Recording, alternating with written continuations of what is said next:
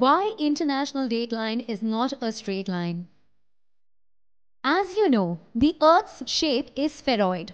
This makes it difficult to determine time, date and locate places on the Earth. To address this problem, we have to draw some imaginary lines such as longitude, latitude, equator, prime meridian for navigation and geographical information. The International Dateline is one such imaginary line on the Earth's surface that demarcates the change from one day to the next. In this video, we will discuss why the International Dateline is not straight. But before we get to that, let's understand a few basics.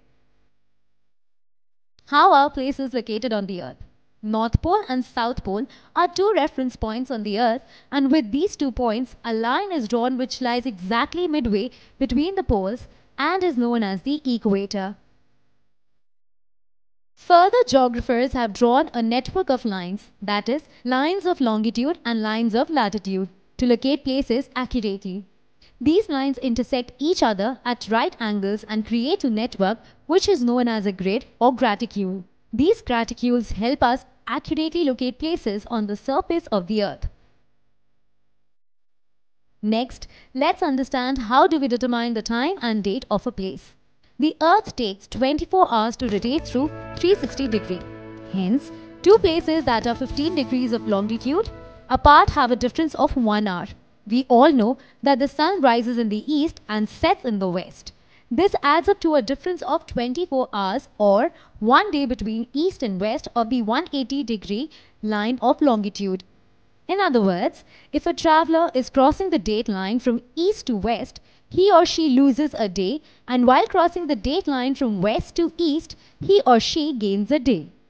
But if it happens on the same landmass, then the same place will have a different date on the same day. Therefore, the international date line was drawn to unify the world's timetable and date to maintain uniformity across the globe. Now, let's understand why the international dateline is not straight.